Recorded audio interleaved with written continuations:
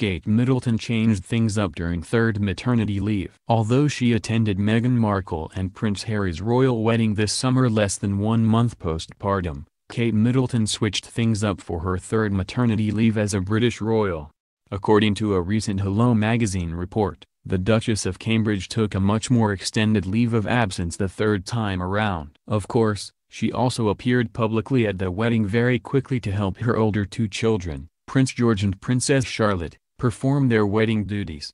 Five years ago when she gave birth to Prince George, Middleton kept out of the public eye for six full weeks. Then, roughly three years ago when she welcomed Princess Charlotte, she spent two months recovering and bonding with her newborn as she adjusted to being the mother of two. Now that Prince Louis has been added to the mix, the mother of the future King of England took an even longer leave of absence as she and Prince William began parenting their three children.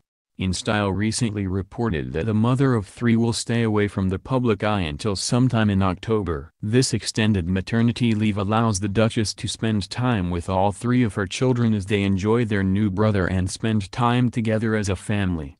Currently, the Duke and Duchess of Cambridge are on holiday in Mustique along with their three children and Prince William's in-laws, the Middletons. When they finish their vacation, they'll return to their relaxing country home, Anmer Hall where the Duchess said that they even raise chickens. There, the royal children will hopefully enjoy a taste of the type of simple childhood their parents desperately want to provide them. Hashtag Kate Middleton's maternity leave with Prince Louis is pretty different compared to her time off with Princess Charlotte and Prince George. https colon slash slash t co WVOHKF 9 In May, Middleton wrote an open letter in support of Children's Hospice Week. In the missive, she emphasized how important spending time together with her little ones is to her. The Duchess wrote, Spending quality time together is such an important aspect of family life and for me, as a mother, it is simple family moments like playing outside together that I cherish. Although she looked terrific in her quick and short return to the limelight at the Duke and Duchess of Sussex's wedding back in May, it must be wonderful for Middleton to take this extra time to bond with not just Prince Louis but with all her children. She's appeared a few times like at Prince Louis' beautiful christening, but she's certainly keeping things low-key until she officially returns to her active royal duties.